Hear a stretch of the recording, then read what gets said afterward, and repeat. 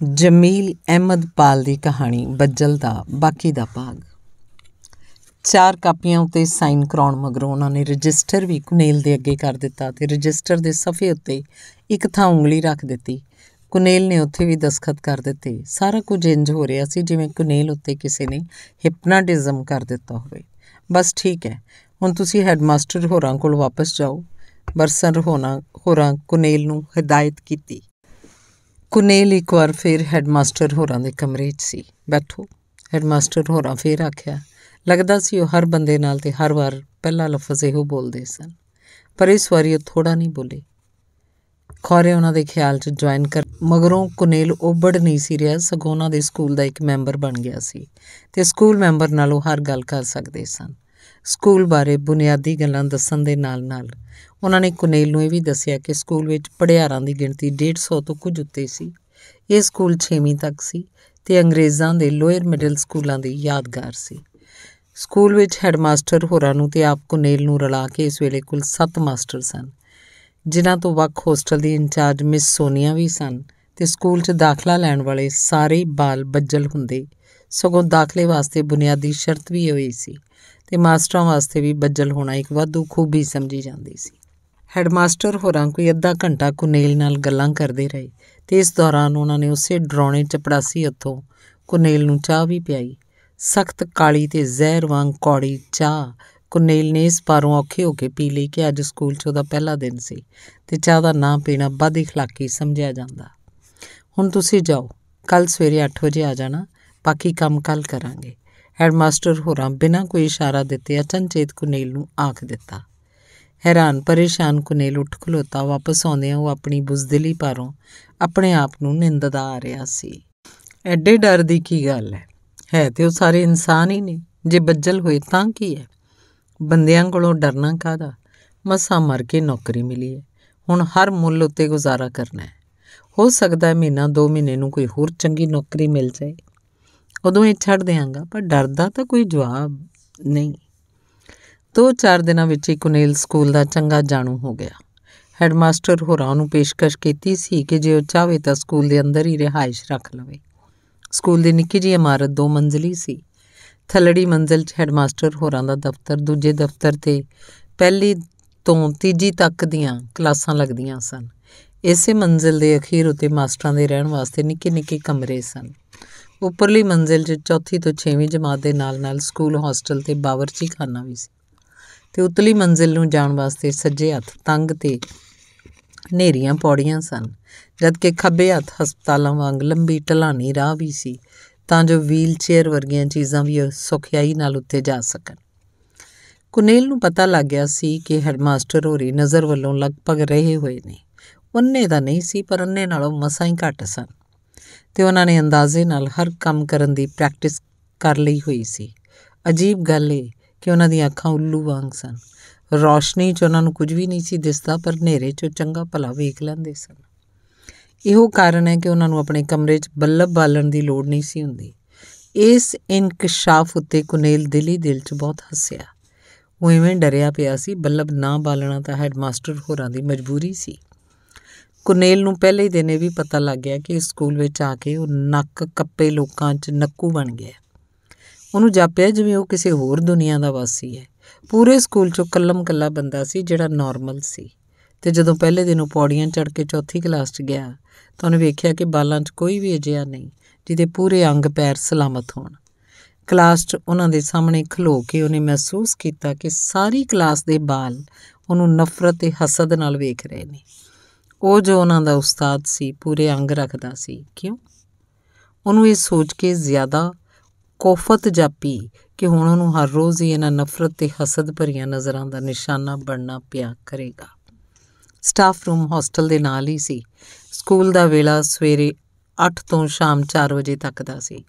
ਦੁਪਹਿਰ 1 ਵਜੇ ਅੱਧੀ ਛੁੱਟੀ ਹੁੰਦੀ ਤੇ ਸਾਰੇ ਪੜਿਆਰਾਂ ਦੇ ਉਸਤਾਦਾਂ ਨੂੰ ਲੰਚ ਮਿਲਦਾ ਸੀ ਤੇ ਉਸਤਾਦਾਂ ਦਾ ਲੰਚ ਸਟਾਫ ਰੂਮ 'ਚ ਹੀ ਹੁੰਦਾ। ਸਟਾਫ ਰੂਮ 'ਚ ਕੁਨੇਲ ਦਾ ਆਪਣੇ ਨਵੇਂ ਕਾਰ ਸੰਗੀਆਂ ਨਾਲ ਤਾਰਫ ਹੋਇਆ, ਪਰ ਇੱਥੇ ਵੀ ਉਹਨੂੰ ਉਹਨਾਂ ਹੀ ਨਜ਼ਰਾਂ ਦਾ ਸਾਹਮਣਾ ਕਰਨਾ ਪਿਆ, ਜਿਹੜੀਆਂ ਕੁਝ ਦੇਰ ਪਹਿਲਾਂ ਤੱਕ ਕਲਾਸਰੂਮ 'ਚ ਵੇਖਦਾ ਆਇਆ ਸੀ। ਕਲਾਸਰੂਮ ਦੇ ਬਾਲਾਂ ਨੂੰ ਤਾਂ ਖੈਰ ਉਹ ਕਿਸੇ ਨਾ ਕਿਸੇ ਢੰਗ ਪਰਚਾ ਸਕਦਾ ਸੀ, ਪਰ ਇੱਥੇ ਪੱਕੀ ਉਮਰ ਦੇ ਸੰਗੀਆਂ ਦੇ ਸਾਹਮਣੇ ਉਹ ਕੀ ਕਰਦਾ? ਮਾਸਟਰਾਂ ਵਿੱਚੋਂ ਦੋ ਮਾਸਟਰ ਵੀਲਚੇਅਰ ਉਤੇ ਲੰਚ ਕਰਨ ਆਏ ਸਨ। ਇਹ ਸਨ ਤੀਜੀ ਜਮਾਤ ਦੇ ਮਿਸਟਰ ਲਿਮੀਜ਼ ਤੇ ਦੂਜੀ ਜਮਾਤ ਦੇ ਮਿਸਟਰ ਲਾਪ ਤੀਜੇ ਮਾਸਟਰ ਦਜਾਮ ਹੋਰਾਂ ਦੀ ਖੱਬੀ ਬਾਹ ਮੁੱਢੋਂ ਗਾਇਬ ਸੀ ਤੇ ਉਹਦੀ ਥਾਵੇਂ ਕੋਟ ਦੀ ਆਸਤੀਨ ਲਮਕ ਰਹੀ ਸੀ। ਤੇ ਦੋ ਮਾਸਟਰ ਨਾਸ਼ ਤੇ ਰੱਸ਼ੀ ਕਜੇ ਸੰਚਨਾ ਦੀ ਇੱਕ ਇੱਕ ਸੱਜੀ ਲੱਤ ਗੋਡੇ ਥੱਲੋਂ ਕੱਟੀ ਹੋਈ ਸੀ। ਉਹ ਲਾਠੀ ਦਾ ਸਹਾਰਾ ਲੈ ਕੇ ਆਏ ਸਨ। ਪਤਾ ਲੱਗਾ ਕਿ 6ਵੇਂ ਮਾਸਟਰ ਦੇਹਾਨ ਹੋ ਰਹੀ ਬਿਮਾਰੀ ਪਾਰੋਂ ਅੱਜ ਸਕੂਲ ਨਹੀਂ ਆ ਰਹੇ ਤੇ ਕੁਨੇਲ ਦਾ ਅੰਦਾਜ਼ਾ ਸੀ ਕਿ ਉਹ ਵੀ ਕਿਸੇ ਨਾ ਕਿਸੇ ਪਾਸਿਓਂ ਬੱਜਲ ਹੋਣਗੇ। ਬਾਅਦ ਵਿੱਚ ਇਹਦੀ ਤਸਦੀਕ ਵੀ ਹੋ ਗਈ। ਹੋਸਟਲ ਦੇ ਬਾਵਰਚੀ ਖਾਨੇ 'ਚ ਦੋ ਬਾਵਰਚੀ ਸਨ, ਉਹ ਦੋਵੇਂ ਗੂੰਗੇ ਸਨ। ਮਿਸ ਸੋਨੀਆ ਨੂੰ, ਜਿਹਦਾ ਨਾਮ ਪਹਿਲੇ ਦਿਨ ਸੁਣ ਕੇ ਕੁਨੇਲ ਦਾ ਖਿਆਲ ਸੀ ਕਿ ਸ਼ਾਇਦ ਉਹ ਇਸ ਸਕੂਲ 'ਚ ਇੱਕੋ ਇੱਕ ਮੂੰਹ ਚਿੱਤ ਲੱਗਦੀ ਸੁਆਣੀ ਹੋਏਗੀ, ਵੇਖ ਕੇ ਕੁਨੇਲ ਨੂੰ ਬੜੀ ਮਾਯੂਸੀ ਹੋਈ। ਇਸ ਮਿਸ ਦੀ ਉਮਰ 60 ਤੋਂ ਕੋਈ 2-3 ਸਾਲ ਹੀ ਘੱਟ ਹੋਏਗੀ। ਉਹਦੇ ਨੱਕ ਦੀ ਬਨਾਵਟ ਇੰਜ ਸੀ ਕਿ ਉਹਨੂੰ ਬੱਤਕ ਮੂੰਹ ਆਖਿਆ ਜਾ ਸਕਦਾ ਸੀ। ਉਹਦੀਆਂ ਅੱਖਾਂ ਨੱਕ ਤੋਂ ਸੱਜੇ ਖੱਬੇ ਬਹੁਤ ਦੂਰ ਦੂਰ ਸਨ ਤੇ ਸੱਜੀ ਅੱਖ ਮਸਨੂਈ ਸੀ, ਜਿਹਦਾ ਮਸਨੂਈਪਨ ਉਗੜ ਉਗੜ ਕੇ ਆਪਣਾ ਇਜ਼ਹਾਰ ਕਰਦਾ ਸੀ। ਨਾਲ ਦੇ ਕਮਰੇ 'ਚ ਸਕੂਲੀ ਬਾਲਾਂ ਨੂੰ ਦੋ ਸ਼ਿਫਟਾਂ 'ਚ ਲੰਚ ਦਿੱਤਾ ਜਾ ਰਿਹਾ ਸੀ। 80 ਦੇ ਲਗਭਗ ਬਾਲ ਇਸ ਵੇਲੇ ਵੀ ਉੱਥੇ ਲੰਚ ਕਰ ਰਹੇ ਸਨ, ਪਰ ਕਮਾਲ ਇਹ ਕਿ ਨਾਲ ਦੇ ਕਮਰੇ 'ਚੋਂ ਭਾਂਡਿਆਂ ਦੇ ਜ਼ਰਾ ਮਾਸਾ ਖੜਕਾਰ ਤੋਂ ਸਿਵਾ ਉੱਚਾ ਬੋਲਣ ਦੀ ਆਵਾਜ਼ ਤੱਕ ਹੀ ਚਿੜੀ ਦੀ ਚੂੰ ਵੀ ਨਹੀਂ ਸੀ ਆ ਰਹੀ। ਇਹੋ ਜੀ ਚੁੱਪ ਕੁਨੇਲ ਨੇ ਕੁਝ ਦੇਰ ਪਹਿਲਾਂ ਆਪਣੀ ਕਲਾਸ ਵਿੱਚ ਵੀ ਖੌਫ ਜ਼ਦਾ ਹੋ ਕੇ ਮਹਿਸੂਸ ਕੀਤੀ ਸੀ। ਬੱਚੇ ਹੋਣ ਪਰ ਰੌਣਕ ਤੇ ਰੌਲਾ ਨਾ ਹੋਵੇ, ਇਹ ਕਿੰਨਾ ਗੈਰ ਫਿਤਰੀ ਹੁੰਦਾ ਹੈ, ਕੁਨੇਲ ਨੇ ਇਹ ਗੱਲ ਪਹਿਲੇ ਦਿਨ ਵੇਖੀ। ਸਾਡੀ ਮੰਜ਼ਿਲ ਦਾ 6ਵਾਂ ਕਮਰਾ ਤੁਹਾਡੀ ਕਮੀ ਮਹਿਸੂਸ ਕਰਦਾ ਹੈ। ਅਨਾਸ਼ ਹੋਰਾ ਆਪਣੀ ਵੱਡੀ ਹੋਈ ਲੱਤ ਨੂੰ ਦੂਜੀ ਲੱਤ ਦੇ ਗੋਡੇ ਤੇ ਰੱਖਦਿਆਂ ਆਖਿਆ ਇਸ ਸਕੂਲ ਦੇ ਮਾਸਟਰ ਸਕੂਲ ਵਿੱਚ ਹੀ ਰਹਾਇਸ਼ ਰੱਖਦੇ ਨੇ। ਤੁਸੀਂ ਇਕੱਲੇ ਬੰਦੇ ਅਜੇ ਹੋ ਜਿਹੜੇ ਅਜੇ ਬਾਹਰੋਂ ਆਉਂਦੇ ਹੋ। ਅਜੇ ਤਾਂ ਪਹਿਲਾ, ਇਹਨਾਂ ਦਾ ਪਹਿਲਾ ਦਿਨ ਹੈ ਛੇਤੀ ਇੱਥੇ ਇਹਨਾਂ ਦਾ ਦਿਲ ਲੱਗ ਜਾਏਗਾ। ਰੱਸੀ ਘੋਰਾਂ ਗੱਲ ਵਿੱਚ ਹਿੱਸਾ ਲੈਂਦੇ ਆਖਿਆ। ਤੇ ਫਿਰ ਇਹ ਉੱਥੇ ਰਹਾਇਸ਼ ਵਾਸਤੇ ਦਰਖਾਸਤ ਦੇਣਗੇ। ਰੱਸੀ ਘੋਰੀ, ਕੁੱਕੜ ਦੀ ਲੱਤ ਇੰਜ ਚੱਬ ਰਹੇ ਸਨ ਜਿਵੇਂ ਆਪਣੀ ਲੰਗੜੀ ਲੱਤ ਦਾ ਇੰਤਕਾਮ ਲੈ ਰਹੇ ਹੋਣ। ਕੁਨੇਲ ਕੁਝ ਨਾ ਬੋਲਿਆ। ਉਹ ਵਿੱਚੋਂ ਡਰਿਆ ਹੋਇਆ ਸੀ ਤੇ ਕੁਝ ਵੀ ਨਹੀਂ ਸੀ ਬੋਲਣਾ ਚਾਹੁੰਦਾ। ਕੀ ਖਿਆਲ ਹੈ ਤੁਹਾਡਾ? ਦਿਲ ਇੱਥੇ ਲੱਗ ਜਾਏਗਾ ਨਾ? ਮਿਸ ਸੋਨੀਆ ਨੇ ਵੀ ਗੱਲਬਾਤ ਵਿੱਚ ਆਪਣਾ ਹਿੱਸਾ ਪਾਇਆ। ਕਿਉਂ ਨਹੀਂ ਲੱਗਣ ਲੱਗਾ? ਭਲਾ ਪਹਿਲਾਂ ਕਦੀ ਇੰਜ ਹੋਇਆ ਕਿ ਜਿਹੜਾ ਸਾਡੇ ਸਕੂਲ ਆਵੇ, ਉਹਦਾ ਦਿਲ ਇੱਥੇ ਨਾ ਲੱਗ ਜਾਏ? ਦਜਾਮ ਹੋਰਾ ਪੂਰੇ ਯਕੀਨ ਨਾਲ ਆਖਿਆ, ਆਹੋ ਜੀ ਕੀ ਬਾਤਾਂ ਨੇ ਸਾਡੇ ਸਕੂਲ ਦੀਆਂ? ਰਸੀਕ ਹੋਰਾ ਮੂੰਹ ਚਲਾਉਂਦਿਆਂ ਫੇਰ ਆਖਿਆ, ਕੁਨੇਲ ਉੱਤੋਂ ਉੱਤੋਂ ਮੁਸਕਰਾਉਂਦਾ ਜ਼ਰੂਰ ਰਿਹਾ, ਪਰ ਅੰਦਰੋਂ ਸਿਰ ਤੋਂ ਲੈ ਕੇ ਪੈਰਾਂ ਤੀਕ ਕੰਬ ਗਿਆ ਸੀ। ਡਰਨ ਵਾਲੀ ਗੱਲ ਉੱਕਾ ਕੋਈ ਨਹੀਂ ਸੀ।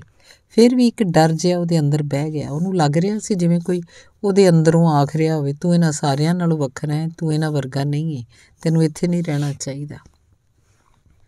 ਮਹੀਨਾ ਮੁੱਕਦਿਆਂ ਮੁੱਕਦਿਆਂ ਕੁਨੇਲ ਨੇ ਫੈਸਲਾ ਕਰ ਲਿਆ ਸੀ ਕਿ ਉਹ ਇੱਕ ਤਨਖਾਹ ਮਗਰੋਂ ਇਹ ਮੁਲਾਜ਼ਮਤ ਛੱਡ ਦੇਗਾ ਪਰ ਜਦੋਂ ਪਹਿਲੀ ਤਰੀਕ ਨੂੰ ਉਹਦੇ ਹੱਥ 'ਚ ਨੀਲੇ ਹਰੇ ਨੋਟ ਥਮਾਏ ਗਏ, ਤਾਂ ਉਹਨੂੰ ਆਪਣਾ ਫੈਸਲਾ ਬਦਲਣਾ ਪਿਆ। ਘਰ ਜਾਂਦਿਆਂ ਉਹ ਸੋਚ ਰਿਹਾ ਸੀ ਕਿ ਡਰਨ ਵਾਲੀ ਕਿਹੜੀ ਗੱਲ ਹੈ। ਠੀਕ ਹੈ, ਸਾਰੇ ਬੱਜਲ ਲੋਕ ਮੇਰੇ ਆਲੇ ਦੁਆਲੇ ਨਹੀਂ ਜਿਸ ਪਾਰੋਂ ਮੈਨੂੰ ਇੱਕ ਅਜੀਬ ਜਿਹਾ ਅਹਿਸਾਸ ਹਰ ਵੇਲੇ ਰਹਿੰਦਾ ਹੈ, ਪਰ ਇਹਦੇ 'ਚ ਡਰ ਦਾ ਅੰਸਰ ਕਿੱਥੋਂ ਆ ਗਿਆ? ਇਹ ਵੀ ਠੀਕ ਹੈ, ਬੱਜਲ ਹੋਣ ਪਾਰੋਂ ਇਹ ਸਾਰੇ ਦੇ ਸਾਰੇ ਲੋਕ ਨਿਕਿਆਈ ਗੁੰਝਲ ਦਾ ਸ਼ਿਕਾਰ ਨੇ। ਕਲਾਸ ਦੇ ਬਾਲ ਵੀ ਮੈਨੂੰ ਨਾਪਸੰਦ ਕਰਦੇ ਨੇ। ਪਰ ਭੁੱਖੇ ਮਰਨ ਨਾਲੋਂ ਤਾਂ ਇਹ ਹਾਲਤ ਬਹੁਤ ਚੰਗੀ ਹੈ। ਨਫ਼ਰਤ ਭਰਿਆ ਜੀਵਨ ਬਤੀਤ ਕਰਨਾ ਮਰਨ ਨਾਲੋਂ ਤੇ ਚੰਗਾ ਹੀ ਹੈ। ਅੱਜ ਜਿਹੜੀ ਤਨਖਾਹ ਮਿਲੀ ਹੈ, ਤਾਂ ਸਮਝੋ ਉਸੇ ਨਫ਼ਰਤ ਨੂੰ ਸਹਾਰਨ ਦਾ ਸਿੱਟਾ ਹੈ। ਲੱਗੀ ਲਗਾਈ ਨੌਕਰੀ ਨੂੰ ਲੱਤ ਮਾਰਨਾ ਬੜੀ ਬੇਵਕੂਫੀ ਹੋਏਗੀ।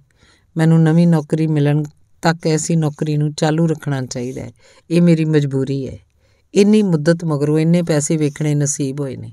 ਇੱਕ ਦੋ ਦਿਨਾਂ ਨੂੰ ਛੁੱਟੀ ਲੈ ਕੇ ਮਾਪਿਆਂ ਵੱਲ ਜਾਵਾਂਗਾ। ਖੋਰੇ ਵਿਚਾਰੇ ਕਿਹੜੇ ਹਾਲ 'ਚ ਹੋਣਗੇ? ਨਾਲੇ ਮੈਨੂੰ ਮਾਇੂਸ ਹੋਣ ਦੀ ਕੀ ਲੋੜ ਹੈ? ਸਰਕਾਰੀ ਨੌਕਰੀ ਹੈ।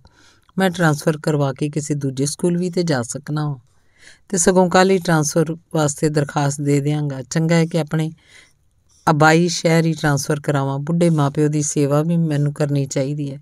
ਮਾਪਿਆਂ ਬਾਰੇ ਸੋਚ ਕੇ ਉਹਦੀਆਂ ਅੱਖਾਂ 'ਚ ਅਥਰੂ ਆ ਗਏ। ਅਗਲੇ ਦਿਨ ਛੁੱਟੀ ਵੇਲੇ ਕਲਾਸ ਪੜ੍ਹਾ ਕੇ ਪੌੜੀਆਂ ਲੱਥਦਿਆਂ ਵੀ ਉਹ ਇਹੀ ਸੋਚ ਰਿਹਾ ਸੀ ਕਿ ਅਜੇ ਨੌਕਰੀ ਛੱਡਣਾ ਹਿਮਾਕਤ ਹੋਏਗੀ। ਪੌੜੀਆਂ ਚੜ੍ਹਦਿਆਂ ਲੱਥਦਿਆਂ ਸਦਾ ਇਕੱਲਾ ਹੀ ਹੁੰਦਾ ਸੀ। ਉਹਦੇ ਉੱਤੇ ਨੌਕਰੀ ਦੇ ਸ਼ੁਰੂ ਦੇ ਦਿਨਾਂ ਵਿੱਚ ਹੀ ਹੌਲਨਾਕ ਇਨਕਸ਼ਾਫ ਵੀ ਹੋ ਗਿਆ ਸੀ ਕਿ ਇਸ ਸਕੂਲ 'ਚ ਕੋਈ ਬੰਦਾ ਵੀ ਪੌੜੀਆਂ ਚੜ੍ਹਨ ਦੇ ਕਾਬਿਲ ਨਹੀਂ। ਜਿਨ੍ਹਾਂ ਨੇ ਉੱਪਰਲੀ ਮੰਜ਼ਿਲ ਜਾਣਾ ਆਵਣਾ ਹੁੰਦਾ ਸੀ, ਉਹ ਲੰਮੀ ਢਲਾਣੀ ਰਾਹ ਵਰਤਦੇ ਸਨ। ਲੱਤਾਂ ਤੋਂ ਮਾਜ਼ੂਰ ਤੇ ਵੀਲ ਚੇਅਰਾਂ ਉੱਤੇ ਬੈਠਣ ਵਾਲੇ ਭਲਾ ਪੌੜੀਆਂ ਚੜ੍ਹ ਵੀ ਕਿਵੇਂ ਸਕਦੇ ਸੀ? ਇਸ ਸਕੂਲ 'ਚ ਪੌੜੀਆਂ ਵਰਤਣ ਦੇ ਕਾਬਲ ਸਿਰਫ ਕੁਨੇਲ ਹੀ ਸੀ। ਮਾਮੂਲ ਮੁਤਾਬਕ ਪੌੜੀਆਂ 'ਚ ਹਨੇਰਾ ਛਾਇਆ ਹੋਇਆ ਸੀ, ਪਰ ਕੁਨੇਲ ਅੱਜ ਅੱਗੇ ਨਾਲੋਂ ਵੱਧ ਕੇ ਡਰਿਆ ਹੋਇਆ ਸੀ। ਉਹਦੀ ਛੇਵੀਂ ਹਿੱਸ ਚੀਕ ਚੀਕ ਕੇ ਉਹਨੂੰ ਪੌੜੀਆਂ ਵਰਤਨ ਤੋਂ ਰੋਕ ਰਹੀ ਸੀ। ਉਹਨੇ ਦਿਲ ਨੂੰ ਡਾਢ ਦਿੱਤੀ ਤੇ ਆਪਣੇ ਖੌਫ ਨੂੰ ਆਪਣੀ ਵਧੀ ਹੋਈ ਹਿੱਸ ਦਾ ਸਿੱਟਾ ਮਿੱਥ ਕੇ ਪੌੜੀਆਂ ਲੈਣ ਲੱਗ ਪਿਆ। ਅਜੇ ਦੋ ਬੌੜੀਆਂ ਹੀ ਲੱਥੀਆਂ ਸਨ ਕਿ ਉਹਨੂੰ ਮਗਰੋਂ ਕੋਈ ਬਿੜਕ ਜੀ ਸੁਣਾਈ ਦਿੱਤੀ। ਉਹ ਚੌਂਕ ਕੇ ਪਿੱਛੇ ਪਰਤ ਕੇ ਤੱਕਣ ਲੱਗਿਆ, ਪਰ ਇਹ ਤੋਂ ਪਹਿਲਾਂ ਕਿ ਕੁਝ ਵੇਖ ਸਕਦਾ, ਕਿਸੇ ਮਜ਼ਬੂਤ ਹੱਥ ਨੇ ਉਹਨੂੰ ਪੂਰੇ ਜ਼ੋਰ ਨਾਲ ਧੱਕਾ ਦਿੱਤਾ। ਇੰਤਹਾਈ ਡਰ ਤੇ ਦਹਿਸ਼ਤ ਪਾਰੋਂ ਕੁਨੇਲ ਦੇ ਮੂੰਹੋਂ ਆਵਾਜ਼ ਵੀ ਨਾ ਨਿਕਲੀ ਤੇ ਪੌੜੀਆਂ ਵਿੱਚੋਂ ਜਿਵੇਂ ਉੱਡਦਾ ਹੋਇਆ, ਪੂਰੀ ਕੁਵਤ ਨਾਲ ਜ਼ਮੀਨ ਦੇ ਪੱਕੇ ਫਰਸ਼ ਤੇ ਜਾ ਡਿੱਗਾ। ਬੇਹੋਸ਼ ਹੋਣ ਤੋਂ ਪਹਿਲਾਂ ਉਹਨੇ ਆਪਣੇ ਲੱਕ ਵਿੱਚ ਜ਼ੋਰ ਦਾ ਕੜਕਾਰ ਸੁਣਿਆ। ਉਹਦੇ ਮੂੰਹੋਂ ਸਿਰਫ ਇੱਕ ਚੀਕ ਨਿਕਲੀ। ਸਕੂਲ ਦਾ ਚਪੜਾਸੀ ਚੀਕ ਸੁਣ ਕੇ ਦੌੜਿਆ। ਬਰਸਰ ਹੋਰੇ ਵੀ ਆ ਗਏ। ਸਕੂਲ ਦੇ ਇੱਕ ਦੋ ਪੜਿਆਰਾਂ ਨਾਲ ਜਿਹੜੇ ਲੱਤਾਂ ਠੀਕ ਹੋਣ ਪਾਰੋਂ ਟੁਰ ਫਿਰ ਸਕਦੇ ਸਨ, ਰਲ ਕੇ ਕੁਨੇਲ ਨੂੰ ਚੁੱਕਿਆ ਗਿਆ। ਇੱਕ ਮੰਜੀ ਤੇ ਪਾਇਆ ਗਿਆ ਤੇ ਫਿਰ ਉਹਨੂੰ ਹਸਪਤਾਲ ਲੈ ਗਏ। ਹਸਪਤਾਲ 'ਚ ਐਕਸ-ਰੇ ਪਾਰੋਂ ਪਤਾ ਲੱਗਾ ਕੁਨੇਲ ਦੀ ਰੀੜ ਦੀ ਹੱਡੀ ਦੋ ਤਿੰਨ ਥਾਂ ਤੋਂ ਟੁੱਟ ਗਈ ਸੀ ਤੇ ਇਸ ਅੰਦਾਜ਼ ਨਾਲ ਟੁੱਟੀ ਸੀ ਜਿਹਦਾ ਜੁੜਨਾ ਨਾਮੁਮਕਿਨ ਸੀ। ਕੁਨੇਲ 2.5 ਮਹੀਨੇ ਹਸਪਤਾਲ ਪਿਆ ਰਿਹਾ। ਹਸਪਤਾਲ ਵਾਲਿਆਂ ਨੇ ਸਟੈਨਫੋਰਡ ਸਕੂਲ ਦੇ ਅਮਲੇ ਦੇ ਇਲਾਜ ਦਾ ਅੱਧਾ ਖਰਚਾ ਮਾਫ ਕੀਤਾ ਹੋਇਆ ਸੀ। ਕੁਨੇਲ ਦੇ ਇਲਾਜ ਦਾ ਬਾਕੀ ਅੱਧਾ ਖਰਚਾ ਸਕੂਲ ਨੇ ਚੁੱਕਿਆ। 2.5 ਮਹੀਨੇ ਮਗਰੋਂ ਕੁਨੇਲ ਵਾਪਸ ਸਕੂਲ ਆਇਆ। ਹੁਣ ਉਹ ਵੀਲ ਚੇਅਰ ਉੱਤੇ ਸੀ ਤੇ ਆਪਣੀ ਬੱਜਲਤਾ ਨੂੰ ਜ਼ਹਿਨੀ ਤੌਰ ਤੇ ਕਬੂਲ ਕਰ ਚੁੱਕਿਆ ਸੀ। ਇਹੋ ਵੀਲ ਚੇਅਰ ਹੁਣ ਸਾਰੀ ਉਮਰ ਵਾਸਤੇ ਉਹਦਾ ਮੁਕੱਦਰ ਸੀ। ਹੈਡਮਾਸਟਰ ਹੋਰੀ ਬੜੇ ਤਪਾਕ ਨਾਲ ਮਿਲੇ। ਆਓ ਜੀ ਕੁਨੇਲ ਸਾਹਿਬ, ਹੁਣ ਤੁਹਾਡੀ ਸਿਹਤ ਦਾ ਕੀ ਹਾਲ ਹੈ? ਉਹਨਾਂ ਦੇ ਲਹਿਜੇ ਤੋਂ ਲੱਗਦਾ ਸੀ ਜਿਵੇਂ ਉਹ ਕੁਨੇਲ ਨੂੰ ਮੁੜ ਵੇਖ ਕੇ ਬੜੇ ਖੁਸ਼ ਹੋਏ ਨੇ। ਬੜੀ ਖੁਸ਼ੀ ਤੇ ਸ਼ੁਕਰਗੁਜ਼ਾਰੀ ਵਾਲੀ ਗੱਲ ਹੈ ਕਿ ਤੁਸੀਂ ਠੀਕ ਹੋ ਆਏ ਹੋ। ਸਕੂਲ ਦਾ ਸਾਰਾ ਅਮਲਾ ਤੁਹਾਨੂੰ ਬੜਾ ਯਾਦ ਕਰ ਰਿਹਾ ਹੈ। ਸਾਰੇ ਉਸਤਾਦ ਤੇ ਪੜਿਆਰ ਤੁਹਾਨੂੰ ਯਾਦ ਕਰ ਰਹੇ ਸਨ। ਉਹ ਤੁਹਾਨੂੰ ਮਿਲ ਕੇ ਬੜੇ ਖੁਸ਼ ਹੋਣਗੇ ਹੈਡਮਾਸਟਰ ਹੋਰਾਂ ਆਖਿਆ।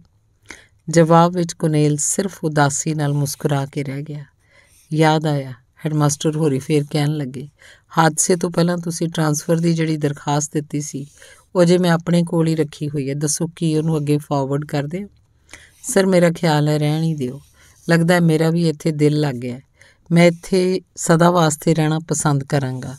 ਕੁਨੇਲ ਨੇ ਆਖਿਆ ਤੇ ਫਿਰ ਵੀਲ ਚੇਅਰ ਨੂੰ ਚਲਾਉਂਦਾ ਹੋਇਆ ਆਪਣੇ ਸੰਗੀਆਂ ਨੂੰ ਮਿਲਣ ਚਲਾ ਗਿਆ। ਉਹ ਸੋਚ ਰਿਹਾ ਸੀ ਕਿ ਕੱਲ ਸਕੂਲ 'ਚ ਰਿਹਾਇਸ਼ ਵਾਸਤੇ ਵੀ ਦਰਖਾਸਤ ਦੇ ਦੇਵੇਗਾ। ਧੰਨਵਾਦ